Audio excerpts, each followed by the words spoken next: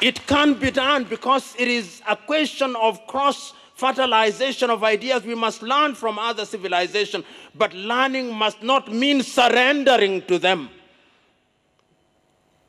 I'm submitting to us that we surrender to them. And going forward, therefore,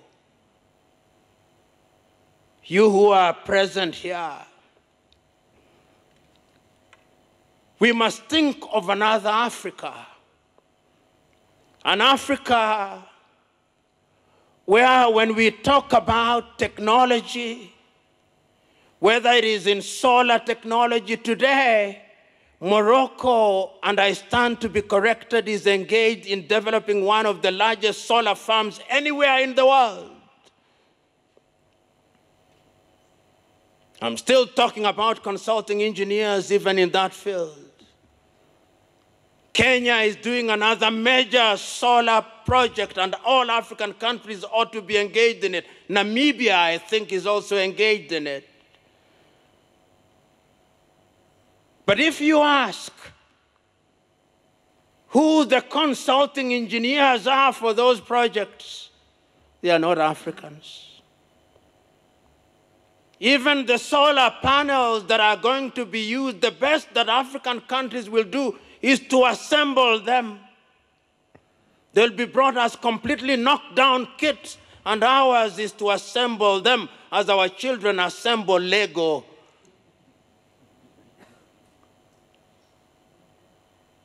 We are talking about water and wa water, which is an important thing, and water engineering. And we have consulting engineers in that regard. Even when we talk about water engineering and the drilling equipment, I know of no African country that makes water drilling equipment. Perhaps South Africa. South Africans correct me.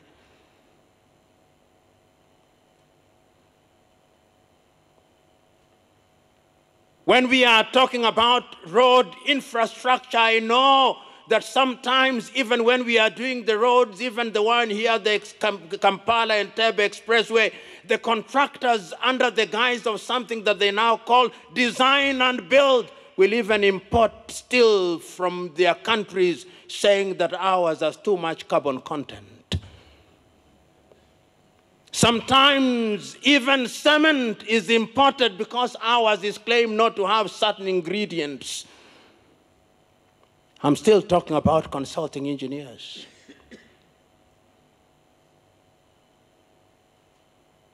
When we are doing our railways, we may celebrate them all we want. But when we receive the wagons, they are rehabilitated engines that belong to the museums alongside the spinning wheel. I'm submitting to us that the consulting engineer is important to Africa's growth and development. You cannot deny that. And I can see the vision. I can see what the African leaders were thinking about when they met in Addis Ababa, Ethiopia, and came up with Agenda 2063. They were looking at the engineer and they were saying that the engineer, well, if he is a civil engineer, let him be an African civil engineer who is aware of the African terrain. Let him be an engineer who is equipped with what he or she needs to grow Africa so that when he or she is engaged in designing and ultimately presiding over the Af building of African roads, he knows he's our continent. That is what they were thinking. So that when they are building this road across the continent, the equatorial forest of Congo, they are building and they are empowering other African engineers. I saw them thinking about that. They must have been thinking about hydroelectric power and they were thinking about generating power from the nearly 1,270 hydroelectric power stations that we have built. They were thinking of geothermal and they were thinking of consulting engineers who have African experience and know Africa and relate with other civilizations in a manner that is beneficial to Africa. They must have been thinking like that. When they were thinking about fuel, fossil fuel, and they were thinking about the pipeline, they must have been thinking about chemical engineers and other related engineers who would be doing things for the benefit of Africa. They were thinking about aeronautical engineers that would be capable not only of ensuring that the planes that are made in Europe and America fly, but uh, who are moving progressively to ensuring that even Africa can produce an aircraft. The Brazilians have done it in our lifetime. But today, that is not the truth. So, fellow engineers, if I've dampened your spirit, that was my intention.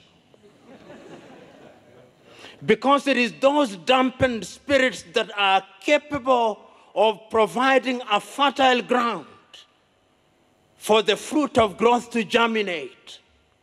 This continent is capable of achieving much. Africa today has a population of 1.1 billion.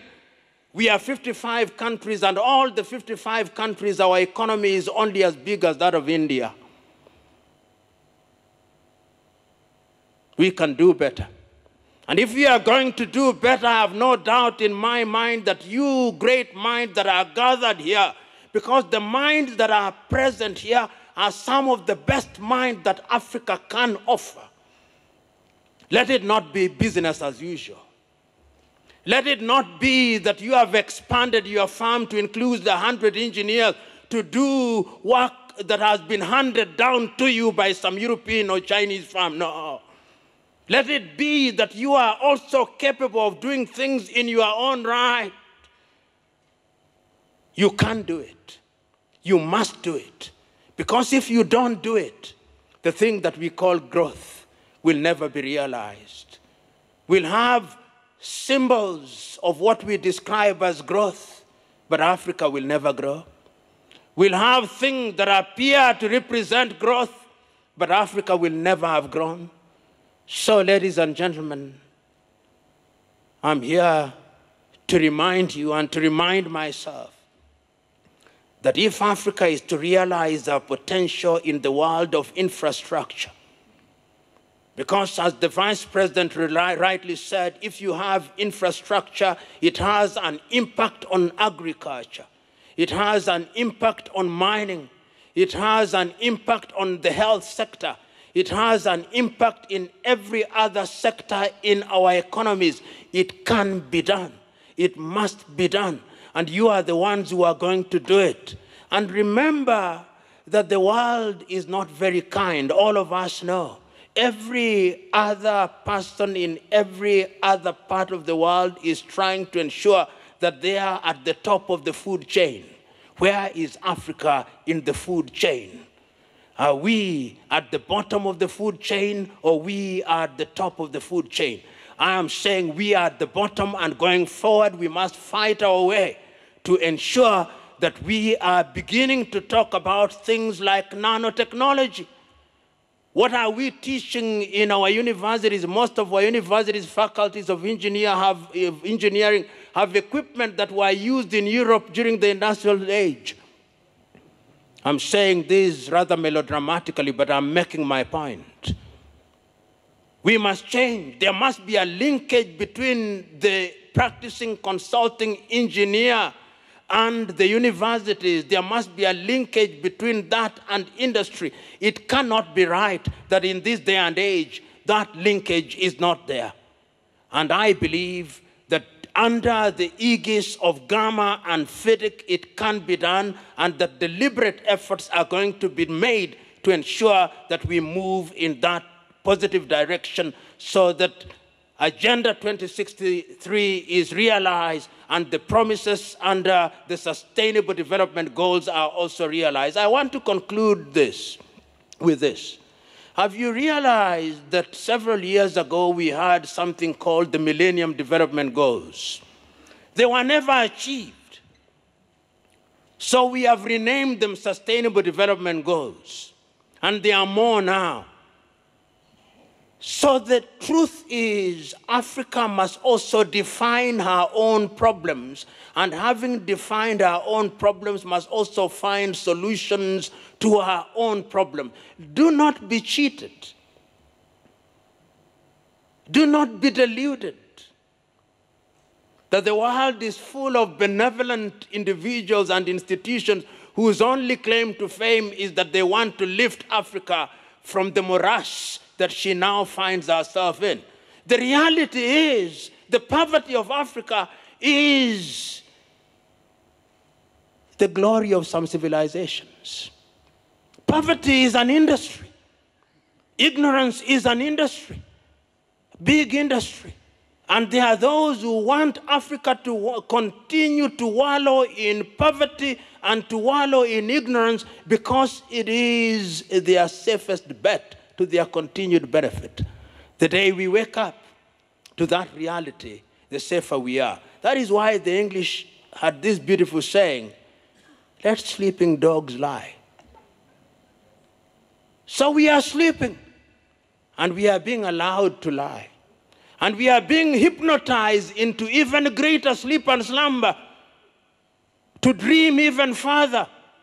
But I'm telling us if Africa is to realize our dream, we must wake up.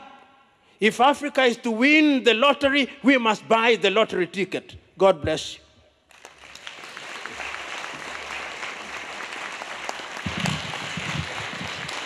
A round of applause for Professor PLO Lumumba, ladies and gentlemen.